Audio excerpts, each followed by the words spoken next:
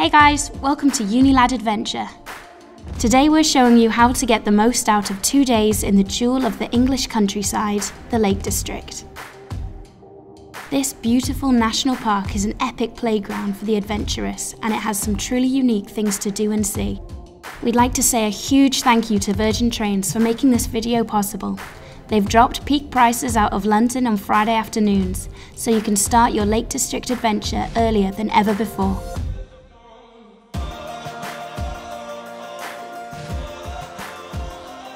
Start your day with a hearty breakfast at Homeground Coffee and Kitchen.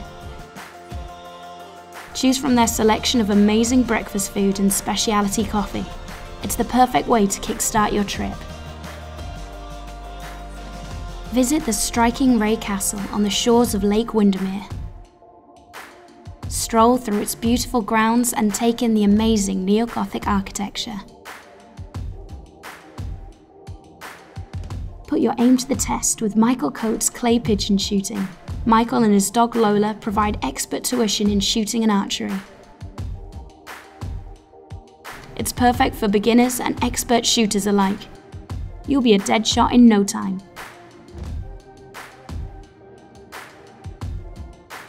Grab lunch at the Wild Boar, one of the oldest hotels in the Lake District.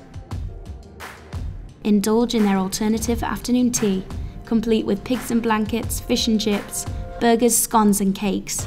They also do an incredible vegetarian option.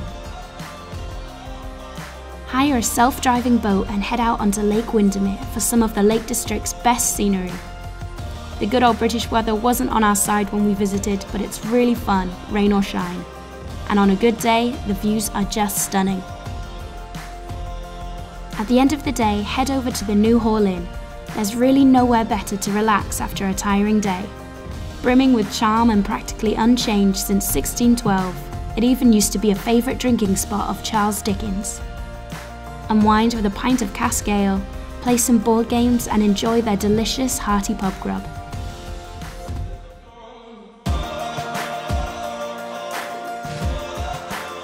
Wake up early and explore the picturesque town of Bowness on Windermere browse its quaint shops and grab some breakfast at one of their many cafes.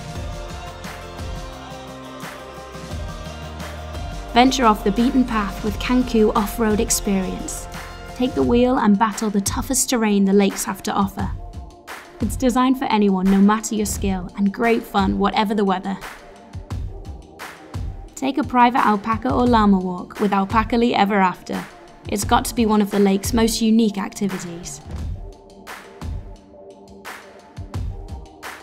What better way to round off your Lake District adventure than a breathtaking sunset with your new furry walking buddy?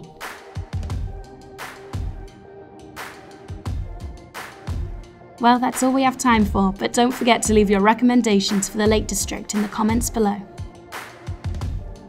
Like this video if you enjoyed it and subscribe for more of the best travel tips from around the world.